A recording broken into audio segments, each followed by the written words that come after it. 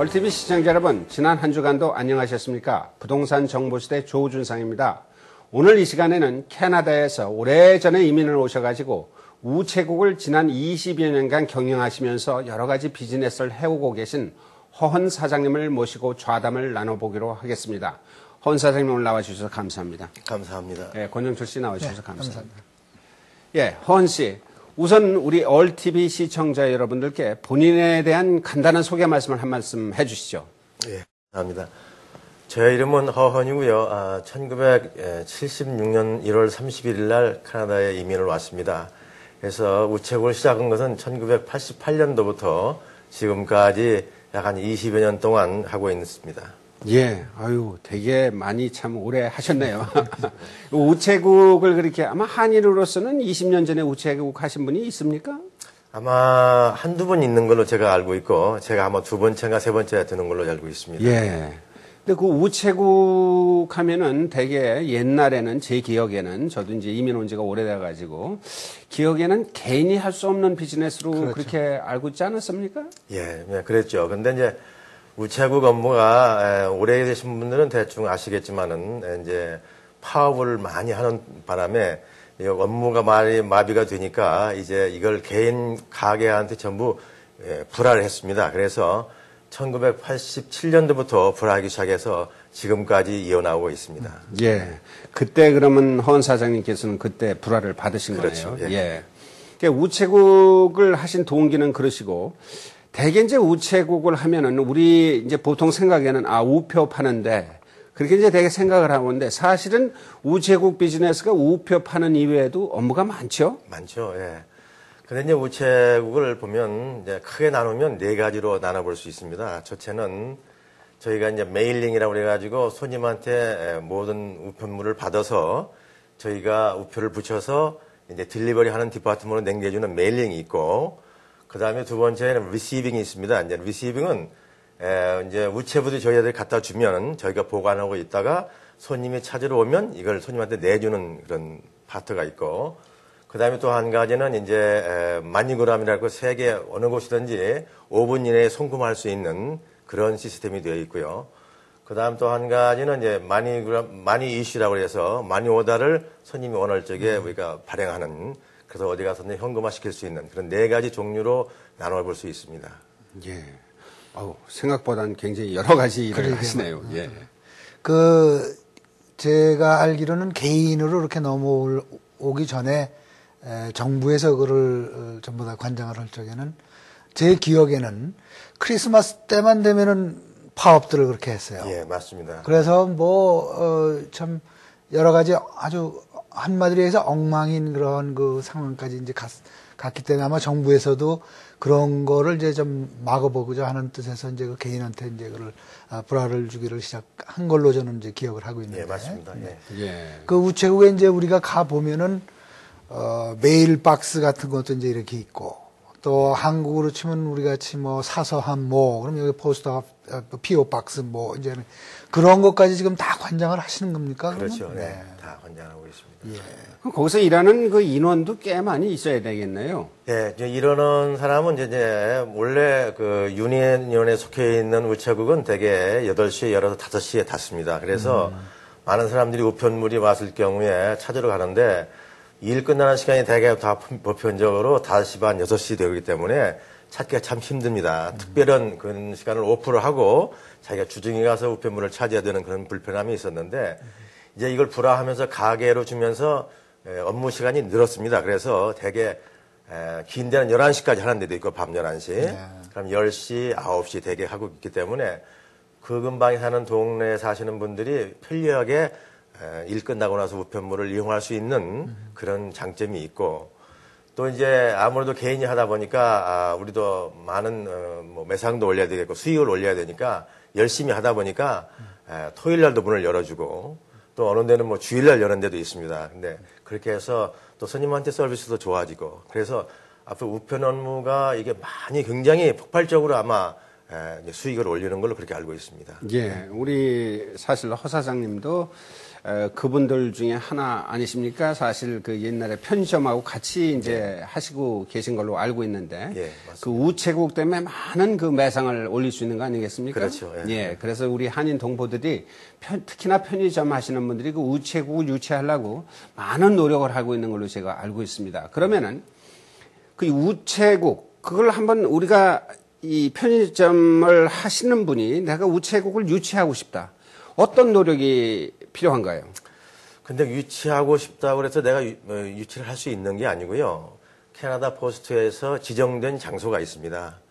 그래서 그 지정된 장소에 내가 편의점을 하고 있으면 찬스가 될 수 있는 거죠. 근데 이제 지금은 조금 뭐 바뀌었습니다만 옛날에는 에, 몇 가지 조건이 있었습니다. 첫째로 가게 store 사이즈가 1800 square feet 이상 돼야 된다는 조건과 물론 parking장은 뭐 넓이 있어야 되겠고 그 다음에 또 한 가지는 슈퍼마켓 뭐 IGA라든가 뭐 Loblaw라든가 그런 큰 슈퍼마켓을 끼고 있는 장소래야 이 사람들이 에, traffic을 많이 있어야 되기 때문에 그런 장소를 선호해서 지정을 해서 거기다 오퍼를 했습니다 Canada Post에서.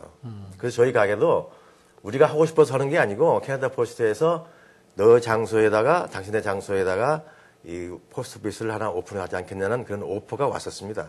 그래서 오픈을 하게 된 겁니다. 예. 그래서 한국 분들이 지금도 많이 의문, 이제 주문이 오시고 또 문의가 오시는데 내가 하고 싶다고 해서 하는 게 아니고 이미 캐나다 포스트에서 다 맵으로 인해서 지정된 장소가 있습니다. 그 지정된 장소에 자기가 속해 있으면 할 수 있는 가능성이 있죠. 예. 그렇지만 또 그것뿐이 아니고 제가 언뜻 듣기에는 이제 우체국을 하려면은 그 언어 소통도 어느 정도 되지, 않, 되지 않겠습니까? 예, 이제 언어는 물론 뭐 government의 public service니까 첫째로 영어를 뭐 좀 잘 구사해야 첫째 조건입니다. 그다음에 이제 뭐 credit도 조사 좋아야 되겠지만은 또 다른 범법 행위가 없어야 되겠고 그 다음에 이제 시민권자나 영주권자나 그건 별로 뭐 관여치 않습니다. 그냥 여기 뭐 방문 오신다든가 또 오셔가지고 우체국은 하실 수 없고 영- 반드시 영주권이나 시민권이 있어야 됩니다. 그럼 언어 말씀을 하셨는데 그 무슨 예를 들어서 정부에서 새로 난 동네에서 이런 우체국을 할 수 있는 그 쿼터가 있다 이 동네는 예. 그러면은 어, 공교롭게 한인분이 가서 거기서 편의점을 하고 있으신데 예. 또 장소도 모든 조건이 맞다 할때 우체국에 대한 신청을 해야 될 거 아닙니까? 예, 근데- 신청을 하면은 언어 테스트가 있습니까? 예, 인터뷰가 있습니다. 이제 인터뷰에서 인터뷰가 굉장히 까다롭게 에, 옛날에는 제가 초창기 할 적에는 사실 인터뷰 그게 까다롭지 않았는데 지금은 하려고 하는 사람이 너무 많아가지고 지금은 굉장히 까다롭게 인터뷰를 합니다. 그래서 아, 뭐 시험도 보고 또 인터뷰도 해서 자기네들 생각에 이 사람은 도저히 카스터머 서비스 하기 힘들다 하면 에, no하고 그냥 reject 됩니다. 그래서 첫째는 뭐 영어도 음, 좋아하셔야 되겠고 그다음에 둘째는 에, credit도 좀 좋아야 요즘에는 편의점 하시던 분들이 몇 분들이 에, 가게를 하시면서 가게가 안 되니까 거기서 일단 Canada Post에 저희가 credit limit가 있습니다. 10만 불이면 10만 불, 20만 불, 20만 불. 그 범위 내에서는 언제든지 우표를 주문하면 보내줍니다. 이게 아시다시피 이 우표는 에, 이게 현찰이나 마찬가지 돼서 가게를 내가 그만해야겠다고 생각하시는 분들이 10만 불을 제게 우표를 얻어 하고 딱 며칠 있다 bankruptcy를 선언합니다. 예, 네, 그래서. Canada Post 몇 군데 그런 손해를 봤기 때문에 지금은 크레딧 조사가 아주 철저하고 이제 조금 저기 하면 뭐 security deposit도 요구합니다. 네. 그러면 이제 만약에 그 모든 조건이 다 갖춰졌는데 이제 언어만 이제 문제가 있다 그렇습니다. 그러면 그 언어에 문제가 있는 분이 그 영어를 잘 구사하는 사람을 그 매니저로 hire를 해가지고 그분이 뭐 인터뷰나 그런 걸 하면은 안 됩니까?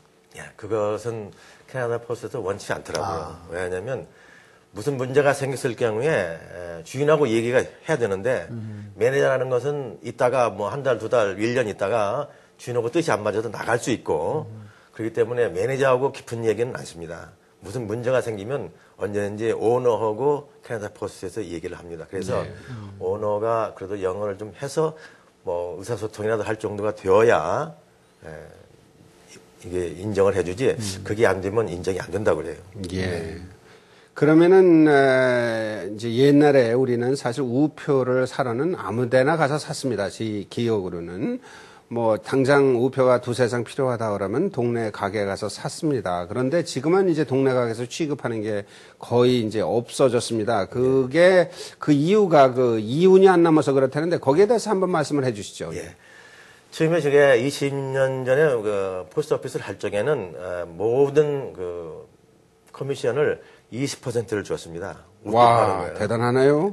거기다가 로열티 3, 3%를 우리가 pay하면 우리가 net income이 17%가 되었습니다. 그래서 100만 불 우표를 팔면 1년에 17만 불이라는 돈이 그냥 순이익으로 나와 떨어졌습니다. 캐나다 포스트에서 하도 이제 어려움이 있으니까 처음엔 자기도 모르고 자기들도 모르고 그 20%를 커미션을 줬는데 대개 처음에는 계약을 10년을 했습니다.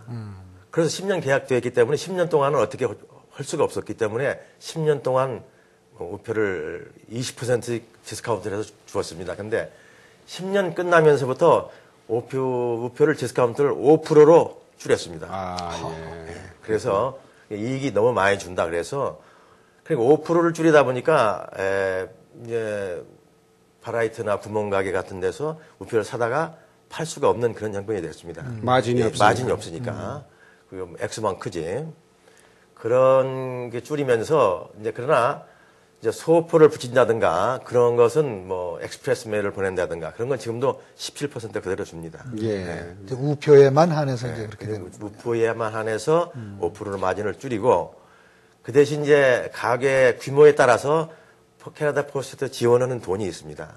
그래서 이제 이, 음, 이분들이 예, low traffic, medium traffic, high traffic 그렇게 세 개로 구분돼 가지고 high traffic은 1년에 50만 불 이상 파는 가게는 2만 5천 불이라는 돈을 무상으로 그냥 줍니다.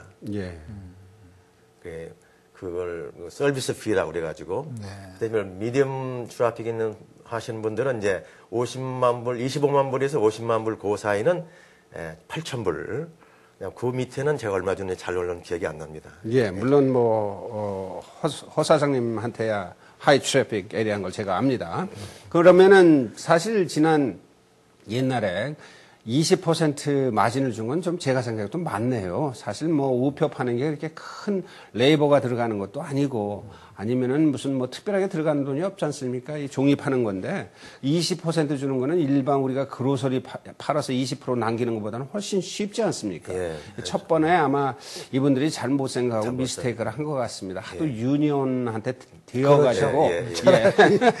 그게 또 그 덕분에 뭐 우리 허 사장님도 그렇겠지만 덕을 보신 분도 많고 10년, 예. 10년 동안 재미 좋으셨네요. 예, 많- 많죠. 예, 그 지금은 그런 재미는 없습니까? 뭐 지금은 이제 에, 옛날과 달라서 규제도 많이 까다로워졌고 이제 종목도 많이 늘어났습니다. 그래서 이제 아무래도 프랜차이즈다 보니까 head office의 간섭이 굉장히 심합니다. 그래서 지금은 뭐 옛날 같이 그렇게 뭐 재미는 없습니다만 그래도 지금은 어떤 것보다는 그것도 보람 있게 제가 운영하고 있습니다. 예. 에, 우선 그걸로 인해서 아, 많은 traffic이 가게에 들어오고 또 뭐 소포를 많이 mailing하는 분들이 많아서 저희 area는 뭐 지금도 굉장히 happy하게 합니다. 예. 그러면은 그 지금 하시는 게 물론 뭐 우체국 하면은 우체국도 매력이 있지만은 그 부, 그것 때문에 들어오는 그 additional business 그게 굉장히 큰 거큰것 같습니다 지금. 예. 예, 지금 편의점을 하면은 사람들이 많이 들어오니까 아무래도 보게 되고 그럼 생각지 않게 또 집어가게 되고 이왕이면 뭐 one-stop shopping 같이 요즘 그래서 이제 새로 생긴 그 옛날에는 없었는데 요즘 그 메일박스라는 그 프랜차이즈가 있지 않습니까? 예, 예. 결국 그거는 그 우체국 업무만 하는 것 같아요. 그 이외에 이제 거기에 필요한 다른 그 물건들을 팔지만은 어, 그런 면에서 볼 적에는 우리 그 어, convenience store하고 우체국하고 같이 combine으로 돼 있는 것이 오히려 사람들을 더 이렇게 불러 모으는 데는 더 좋은 그, 그 컨셉이 아닌가 그렇게 생각이 되고요. 그 다음에 이제 어떤 면에서는 그, 그 one day service 같은 거, delivery service 같은 거 하면은 페덱스나 그렇잖아요. UPS 같은 거 하고 지금 경쟁을 하는 그런 그, 어, 상황도 좀 벌어지겠네요. 예. 그렇죠? 음, 예, 맞습니다. 네. 근데 이제 메일박스라는 회사가 미국 회사에 있었는데 그 회사가 이제 UPS 스토어로 바뀌었습니다. UPS가 그 회사를 인수하면서 모든 가게의 상호를 UPS 스토어로 바꿨습니다. 그래서 UPS 스토어는 이제 소포 같은 거를 mailing 하는 데는 미국 같은 데는 좀 쌉니다. 근데 캐나다 안에는 에, 경쟁이 안 될 정도로 캐나다 포스트가 훨씬 더 가격이 저렴하고요. 네. 그 다음에 페덱스도 미국 회사이기 때문에 가격이 좀 비싸고. 근데 이제 미국 UPS니까 미국에 가는 소포는 좀 저렴한 가격으로 하는데 이 캐나다 포스도 그걸 많이 뺏기니까 요즘에 새로운 뭐 한 몇 년 전부터 생겨서 좀 더 저렴한 가격으로 캐나다 포스도 이제 경쟁을 의식해서 하려고 지금 다른 아이템이 나와 있습니다. 그래서 지금은 아마 UPS보다 가격이 1, 2불 더 싼 걸로 제가 알고 있습니다. 예. 하지만 우리가 사무실에서 일하면서 대개 이제 courier service를 보낸다 그러면 되게 이제 생각나는 게 UPS 아니면 FedEx, FedEx. 그렇게 쓰게 되는데 결국 그 지금 말씀하시는 게 그 가격이 미국보다 훨씬 더 비싸다는 말씀을 하시는 거죠. 그렇죠. 예. 그렇지만은 또 지금 우체국은 그런 것들 때문에 경쟁 의식을 느껴서 또 이제 대응하는 무슨 광고책을 내놓는다는 그런 말씀이시고 예. 조금 아까 말씀하신 그 메일박스 비즈니스라는 건 도대체 뭐 하는 비즈니스입니까 그게?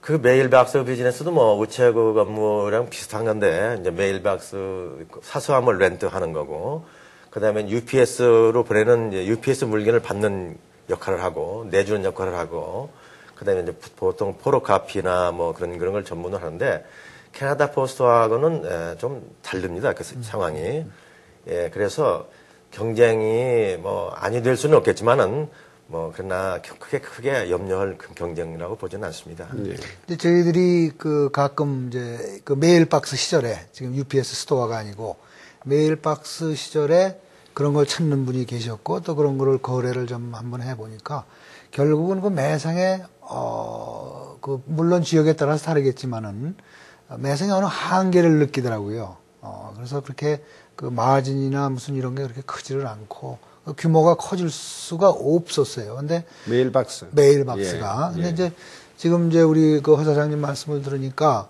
아, 이 우리 같은 그 컨셉트는 굉장히 win-win situation이 될 것 같아요. Post office plus convenience. 그러면 어, 오시는 손님들 매일 거기서 다 어쩌, 어떤 면에서는 그 one-stop shopping이 될 수 있는 그런 개념도 되고. 예. 어, 그래서 어, 앞으로 그런 것도 좀 신경을 쓰셔서 어, 그런 그 위치를 선정을 해서 들어가시면은 굉장히 좋은 그런 비즈니스 opportunity가 될 수 있게 그런 걸 느꼈습니다. 뭐 사실 convenience store에도 많이 있지만은 제가 이렇게 피부로 느끼는 건 나가면은 웬만한 Shoppers Drug Mart에는 우체- 우체국이 다 있는 것 그렇죠. 같습니다. 거의 다 있죠. 예. 그뭐 특별한 자기네들끼리 이게 무슨 계약을 체결한 겁니까?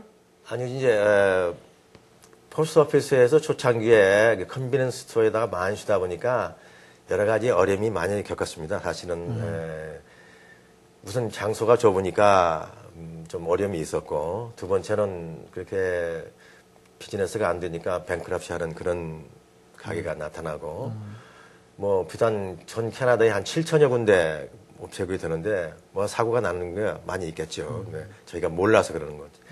그런데 이제 수아파 수락마트에 주다 보니까 거기는 프랜차이즈니까 큰 회사가 관장을 하기 때문에 그런 염려 없고 또 여기는 조건이 주일날 문을 열어주는 걸로 조건이 되어 있습니다. 그래서 Shoppers Drug Mart는 주일날 언제든지 우체국 문을 엽니다. 그러니까 그런 것이 또 다른 데보다 좀 유리하고 또 무슨 보편적으로 그 이미지가 store 이미지가 깨끗하지 않습니까?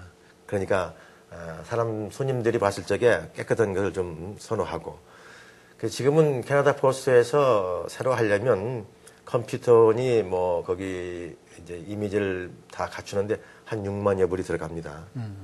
근데 이건 10년이 지나면 무조건 다 바꿔야 됩니다. 그게 아무리 깨끗하든 낡았든 간에 10년이 되면 무조건 새로 다 바꿔야 되는 그런 조건부로. 누구 돈으로 바꿔야 됩니까? 그건 개인이 부담하는 겁니다. 어, 예. 자기가 부담해서 바꿔야 되는 겁니다. 그래서 이제 어쨌든 Canada Post에도 좀 깨끗한 이미지를 찾기 위해서 Shoppers Drug Mart로 많이 들어가는 것 같습니다. 예.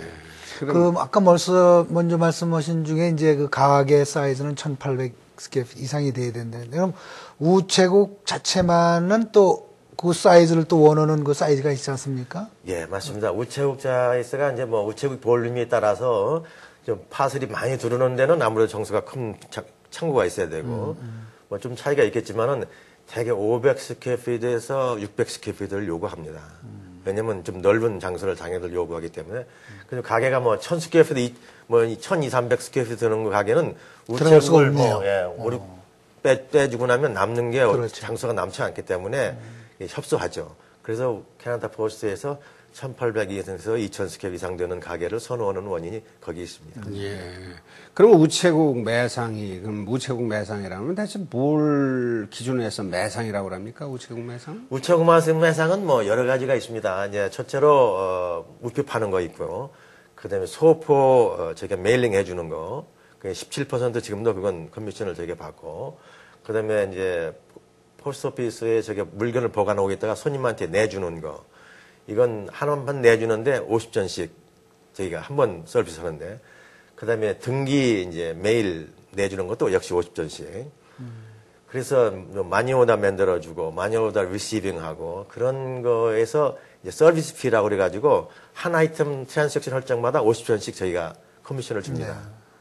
그래서 그거 포함하고 그 다음에 제가 이제 17% 지금 소포 mailing하는 디스카운트 그거 플러스하고 우표 파는 거 5% 플러스하고 그래서 이제 net income을 잡고 또 이제 high traffic 되는 store는 2만 5천 불이라는 돈이 에, 그냥 주는 돈이기 때문에 그것도 income으로 되는 거고요. 그래서 income으로 잡고 되게 이제 gross income은 뭐 얼마가 됐든지 상관없지 않습니다. 근데 net income이 얼마가 되느냐가 중요하지. 아, 그렇지. 예. Gross income을 올리려면 우표 5% 내가 갖다가 5% wholesale 하면 100만 불어치도 팔 수 있습니다. 그렇죠. 근데 이익은 하나도 없죠. 그렇기 때문에 gross income이 얼마는 별로 관여치 않고 과연 net income이 컴퓨터에 찍힌 net income이 얼마냐에 따라서 우체국 매상이 좌우된다고 봅니다. 아, 그러니까 우체국 매상이 결국은 에, 이 에, sale volume이 아니고 profit base로 해가지고 거기에 대해서 매상이 나오네요. 그럼 예. High traffic 하면 아까 말씀하신 50만 불이니까 그건 음, profit이 50만 불 이상이 된다는 그런 말씀이시네요. 그렇죠? 아니죠. 그것은 그 Canada Post에서 기준으로 하는 것은 50만 불 이상은 gross gross를 얘기하는 세일을 얘기하는 거고. 제가 그럼 그걸 예. 여쭤본 겁니다. 세일이 얼마냐고. Gross. 그럼 이제 결국은 gross로 이렇게 해서 이제 뭐 내가 우표를 다른데 wholesale을 하고 하나도 못 먹어도 결국 1년 후에 2만 5천 불이라는 걸 받을 수 있는 볼륨까지 올릴 수는 있는 거 아닙니까? 그렇죠. 이제 예. 거기에 그거 예. 그거에 이제 저 그걸 받기 위해서 그렇지 그렇게 되겠죠. 우표를 받아가지고 마진 없이 딴 데로 네. 넘겨도 그건 받지 않습니까? 예, 맞습니다. 예, 아주 좋은 거 오늘 배웠습니다. 이제 우리 한국 분들이 하- 그 하- 우체국을 하시는 분은 많이 있습니까 지금? 지금 제가 알기로는 어, 토론토 미스사가 브람톤 뭐 밀턴 에리아에서 한 일곱 여덟 분 하시는 걸로 알고 있습니다. 얼마 그것밖에 안. 됩니까? 어. 예. 그래서 그- 이제 많이 하시는 분들이 이제 retire 하셨는지 파시고 그냥 이제 그만두시고 지금 현재 하고 계시는 분들은 한 일곱 여덟 분 제가. 예.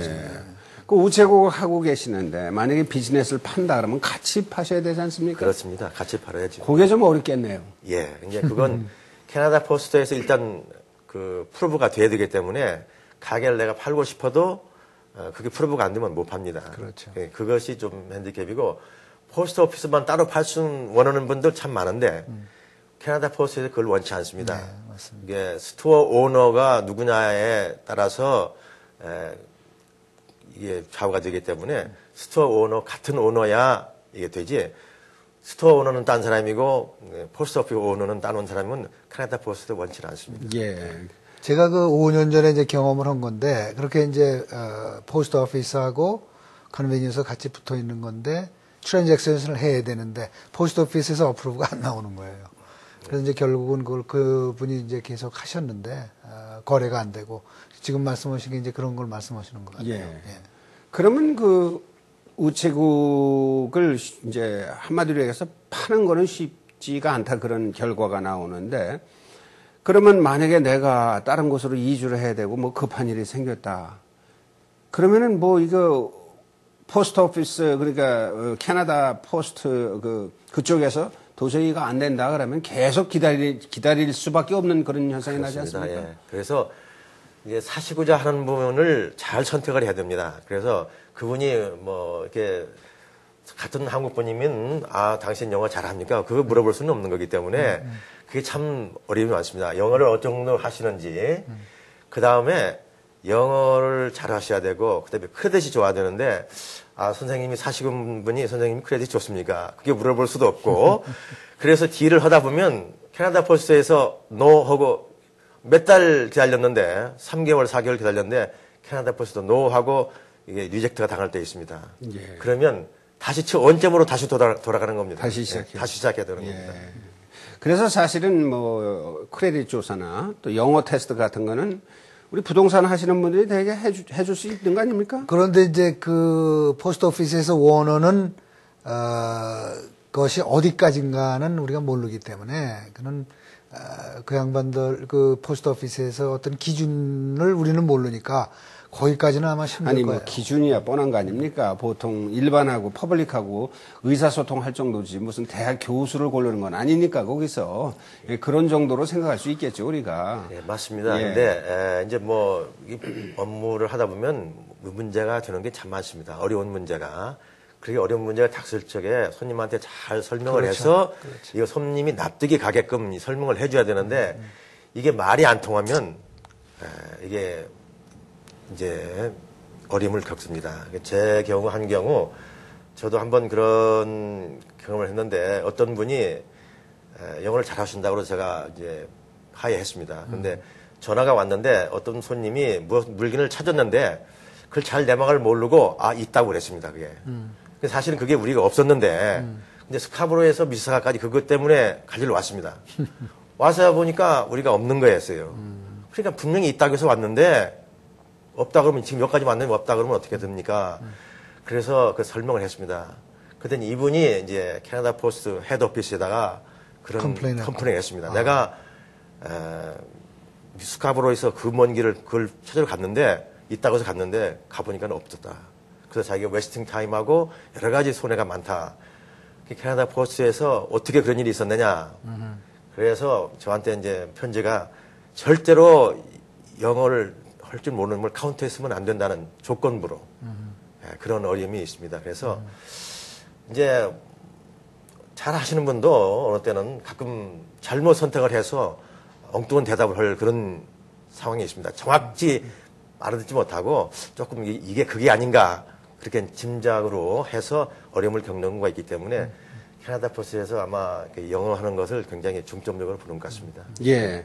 근데 뭐 사실은 저도 post office를 가끔 다니지만은 사실 post office 하시는 분들이 이민자들이 많습니다. 예, 근데. 그분들 영어 하시는 거 보면은 뭐 사실은 뭐 accent도 많이 있고 그러신 분들 많이 있어요. 근데 그분들도 뭐 하여튼 거기서 테스트에 패스를 했기 때문에 거기 서 있는 건데 뭐 아주 그렇게 무슨 뭐 대학에서 강의하는 그런 정도는 아니고 퍼블릭을 이렇게 봤을 때 불편 없이 오해 하지 않고 그 정도의 영어가 아마 왜냐하면 너무 이걸 높게 얘기하면 우리 시청자분들이 아 이거 우체국 우리는 전혀 못하는 거구나 할 수 있기 때문에 우리가 똑바로 전해야 되기 때문에 그래서 어느 정도 의사소통이 가능하고 그러면 됩니다. 예, 예. 소통만 가능하면. 예, 그래서 이제 물론 이제 한국에서 지금 막 어, 도착하시고 이제 언어가 굉장히 불편하신 분들은 이제 이 비즈니스가 어렵겠죠. 그렇지만 이민 온 지 뭐 한 10년 넘으시고 이제 영어도 좀 알아들으시고 하시고 그러시는 분은 가능하지 않습니까? 예, 맞습니다. 예.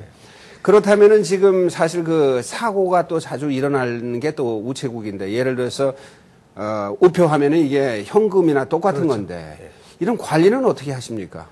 이제 우표를 저희가 오더하면 금고에다 넣습니다. 그래서 관리를 잘 해야 됩니다. 잊어버리면 어디서든지 보, 이게 보상해 주는 데가 없습니다. 캐나다 포스에서도 보상 안 해주고 보험회사에서도 보상을 안 해줍니다. 어. 현금이기 때문에. 현금이기 때문에. 그래서 가게마다 뭐 상황이 다르겠습니다만 우표를 몇만 불어치 잊어버려도 현금이 가게마다 보험회사에서 뭐 2,000불 카버해지면 2,000불밖에 안 해줍니다. 그래서 이 우표는 잘 보관해야 아, 되는 거고 혹시 어디다 보관하시는지. 이 금고가 있는데 이제 그 애플리케이션 낼 적에 금고 회사 번호 시리얼 넘버까지 다 캐나다 포스트에서 보고를 해줘야 됩니다. 그래서 거기서 프로브해서 좋다고 인정을 받아야 됩니다. 그게. 예. 그 프랜차이즈화 되기 전에는 어떤 그 어떤 그 지역을 지정을 해가지고 어, 우표를 제공을 해주고 팔게 하는 그런 제도가 있었습니다. 예. 그 전에 예. 그때는 이제 한 달에 한 번씩 그 우체국에서 나와가지고 인벤토리를 했어요. 가지고 부족하는 건 어, 물어내야 되고 예, 어, 뭐 이제 그런 제도가 있다가 예. 이제 그 프랜차이즈화 됐기 예. 때문에 그런 그 지금 현재 그 어, 저, 뭐 인벤토리 같은 거는 어, 우체국에 나와서는 하지는 않죠. 예, 그게 어, 개인 맞습니다. 이제 책임 하에 예, 예, 있으니까. 전부 다 예. 개인 오너 책임이기 때문에 저희가 뭐 10만 불 크레딧이면 10만 불까지 보내달라면 보내줍니다. 아. 뭐 여, 이유 없이. 예. 그러나 이제 관리는 본인이 잘 해야 됩니다. 10만 불 네, 오다에서 왔는데 10만 불 잊어버렸다고 그래서 캐나다 포스트 단 1불도 보상해 주지 않습니다. 예. 결국 뭐 시- 우표라는 게 요만하니까 10만 불어 칠해봐야 돈보다 더 적습니다. 그렇죠. 이게 뭐 양은 얼마 안 될 거라고요. 그렇지만 그거를 잘못 아, 이 간수했다가 그냥 누가 이렇게 들고 가면은 아주 간단하게 또 잊어버릴 수 있는 게 그 우표 아닌가 생각을 합니다. 그러면은 우리 오늘 참 좋은 말씀 많이 해주시는데 우리 시청자분들 또 우체국을 우리가 하고 싶다 아니면 이제 새 동네 가서 편의점을 한다. 대체적으로는 이제 어떤 자격을 갖춰야 되는지 저희들이 배웠는데 우체국을 이제 20년 동안 하시면서 어, 이제 그 힘든 점 아까 조금 말씀해 주신데 그래도 보람이 있는 때가 여러 번 있는 걸로 제가 알고 있는데. 예, 이제 에, 어떨 때는 손님이 급히 뭐 보내야 되는데 뭐 내일로 보, 보내야 받아야 되는데 그럴 때 밤늦게까지 늦게 오니까 쫓아옵니다. 쫓아와서 이걸 할수 해줄 수 있느냐 할 적에 저희가 그걸 해줍니다. 이제 그러면 야 그래도 내가 손님한테 돈은 받지만은 그래도 이 도움을 주는 거니까 참 이렇게 보람을 느낍니다. 예. 예, 이제 근데 어려움이 있을 적에는 우리가 손님한테 좀 서비스 해준다고 했는데도 손님이 그걸 만족하지 못하고 complain을 하는 사람. 또 저희도 이제 뭐 손님이 와갖고 줄을 이렇게 와 서, 서 있는데 좀 뭐 2, 3분, 3, 4분 기다렸다고 너무 오래 걸린다고 complain 하는 그런 분들을 보면 아, 뭐 여기는 기다리는데 그 미득있다는데 아, 그렇게 2, 3분, 3, 4분도 못 기다리고 저러나 할 때에는 좀 짜증이 날 때도 있습니다. 예. 그래서 아, 이게 업무량이 뭐 하루에 몇백 건에서 한 천여 건 이렇게 트랜잭션을 하다 보면 되게 이제 저희도 실수할 때도 있습니다. 예. 그래서 실수할 적에는 어, 이제 손님한테 솔직하게 미안하다 하고 우리가 배상 보상을 하고 어, 저 이제 손님이 뭐 때로는 엉뚱한 질문을 하면서 손님이 좀 이렇게 굉장히 까다롭게 하시는 손님도 있습니다. 그런 분한테는 될 수 있으면 public service니까 저희도 웃음 먹고 하려고 그러는데 때로는 좀 짜증나고 힘들 때도 있습니다. 예, 당연하겠죠. 예.